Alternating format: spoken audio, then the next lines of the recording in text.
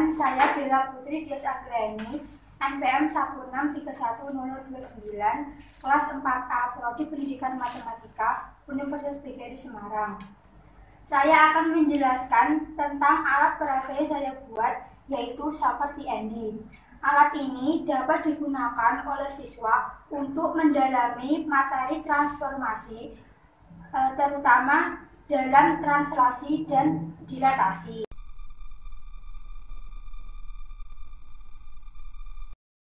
Di sini saya akan menjelaskan bagian-bagian dari alat peraga soccer TND. Yang pertama ada papannya yaitu sebagai lapangan, kemudian ini uh, sebagai bolanya dan di sini ada kartu untuk petunjuk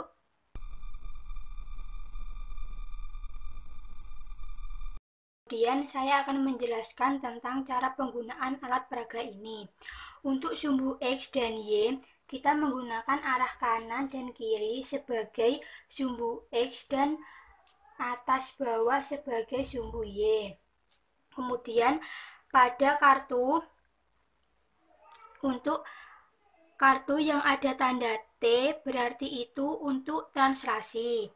Kemudian untuk kartu seperti ini yang ber, yang bertanda D berarti ini untuk dilatasi. Kemudian untuk kartu kuning itu bertanda bahwa pem, pemain lawan tidak boleh bermain satu kali. Kemudian jika kartu merah berarti pemain lawan tidak boleh bermain dua kali. Pertama, sebelum memulai permainan, saya akan membagikan kartu terlebih dahulu.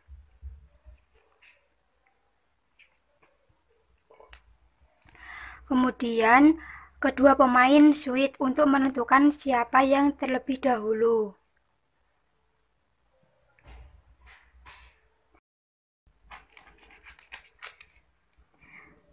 Kemudian pemain pertama memainkan. T24 berarti translasi dengan X2 dan Y4.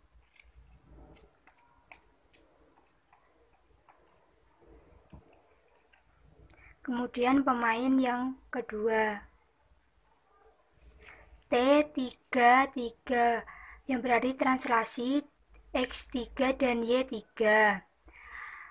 Ke kanan 3 langkah dan ke atas 3 langkah. Kemudian pemain pertama lagi. T0 min 2, X0 dan Y min 2. Berarti X-nya tetap dan Y-nya mundur dua langkah. Kemudian kembali ke pemain 2. D dengan skala 2.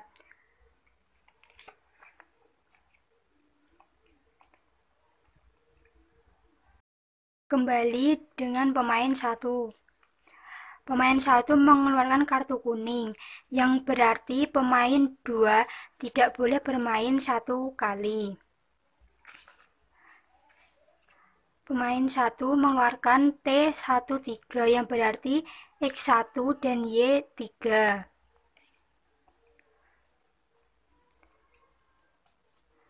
Kemudian pemain dua bisa bermain kembali. T33 Translasi dengan X3 dan Y3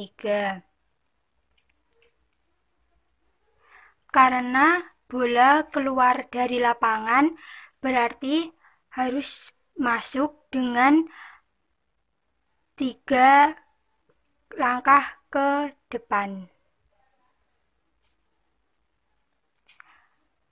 Kemudian dilanjutkan oleh pemain satu.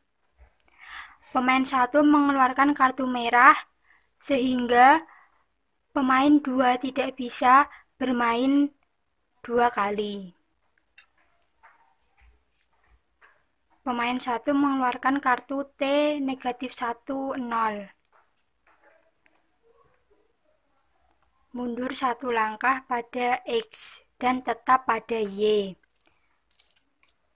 Kemudian pemain satu mengeluarkan lagi T24. Dua langkah ke kanan dan empat langkah ke atas.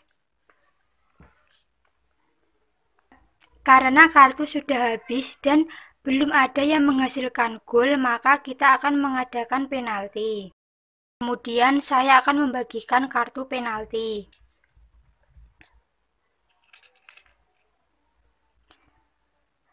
Dan dimulai oleh pemain pertama terlebih dahulu.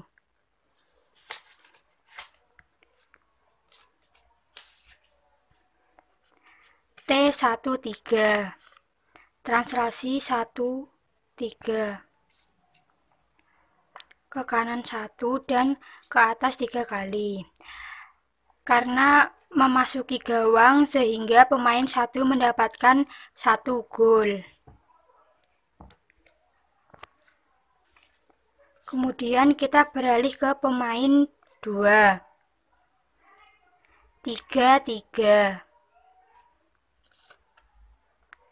tiga kali dan ke atas tiga kali.